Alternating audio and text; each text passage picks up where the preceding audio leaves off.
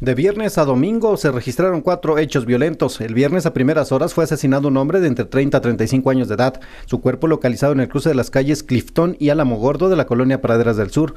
En el lugar se encontraron cuatro casquillos de 9 milímetros y seis de calibre .45 milímetros.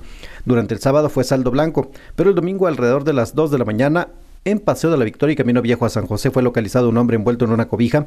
Tal como fue encontrado, se lo llevaron, lo que sumaría a la segunda víctima del fin de semana. Además, se reportó otro hecho violento más o menos a la misma hora en la colonia Felipe Ángeles, en el cruce del Boulevard Bernardo Norzagaray y Sombrerete. Fue un hombre identificado como Noé Leandro Pérez Velázquez, quien tenía balazos en la cabeza. Además, se encontró un cráneo humano en la Sierra de Juárez, en la colonia Ampliación Fronteriza Alta, cerca del Camino Real, lo que da la suma de las cuatro víctimas, que eleva a 40 los homicidios registrados en esta frontera, de los cuales cinco son mujeres en el mes de mayo.